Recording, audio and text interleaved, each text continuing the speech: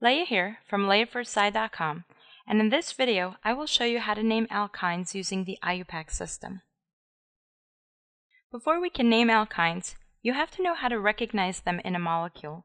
An alkyne occurs when you have two pi bonds between the same two set of carbons, also known as a carbon-to-carbon triple bond. The hybridization of the carbon that holds the alkyne is sp, which means that it has a bond angle of 180 degrees and the shape of the molecule will be linear. Let's draw a simple alkyne, for example C triple C single bound to H. This is ethyne commonly called acetylene. If you compare this to a two-carbon alkane, we'll have the H, C single bound CH, but we also have two additional sets of hydrogens.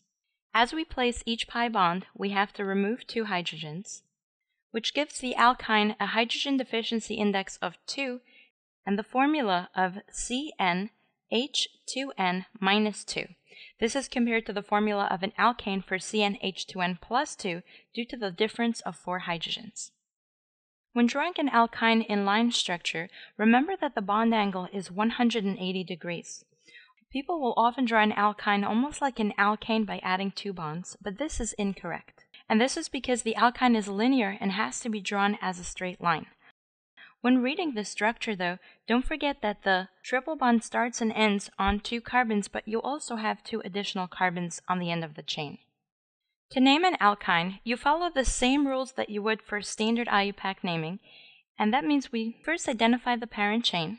Given that the alkyne occurs in the middle of the molecule, I can start numbering from the right or the left and I have a total of four carbons giving me a first name of bute. Because I have a triple bond in the molecule, I get a last name of YNE, or ine.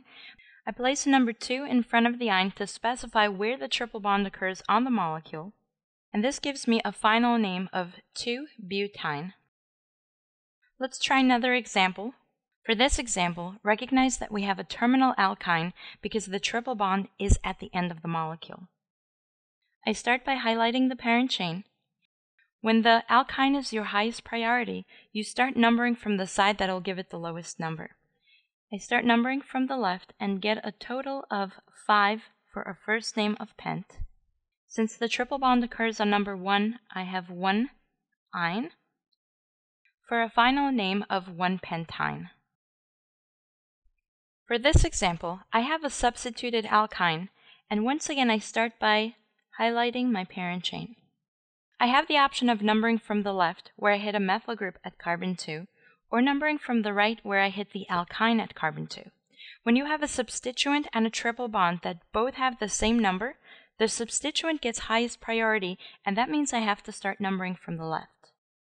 Seven carbons in my parent chain gives me a first name of hept.